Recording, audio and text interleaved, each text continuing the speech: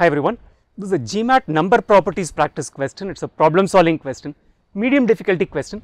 I'll classify the question somewhere around a 650 level difficulty question. If both 11 square and 3 cube are factors of this number, 8 times 4 cube times 6 square times 13 raised to the power of 11, right. So, 11 square is a factor of this number, 3 cube is a factor of this number, then what is the smallest possible value of A is what this question is, right.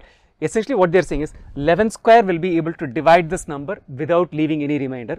So will 3 cube be able to divide this number without leaving any remainder.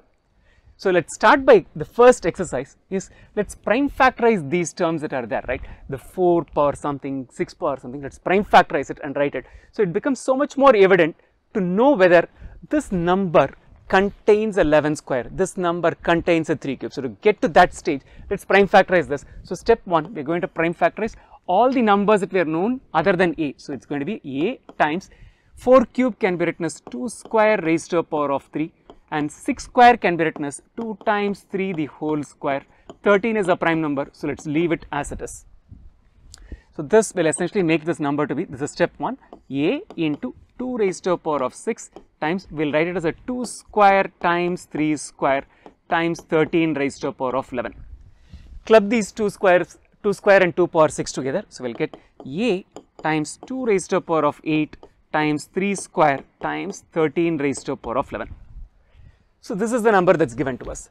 This is divisible by 11 square. 11 square is a factor of this number if this entire number is divisible by 11 square, then the numerator, this number should contain 11 square in it. These three prime factors are not 11, which means that A needs to contain the 11 square if this number is to be divisible by 11 square. So, we will say A contains 11 square. So, this is as far as 11 square goes.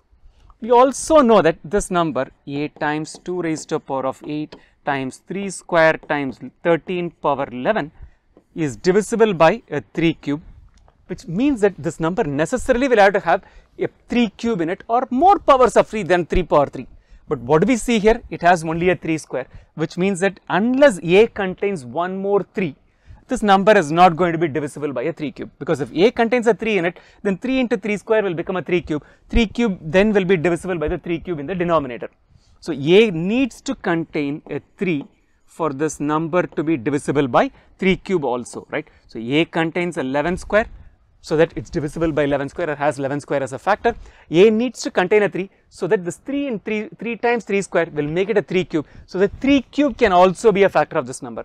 So, what all does A contain? A contains 11 square, A has 11 square in it and also needs to have a 3 in it.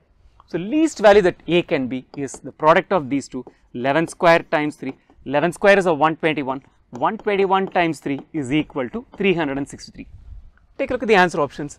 The answer options 363 is choice C. So, least value that A can take is 363, choice C is the correct answer.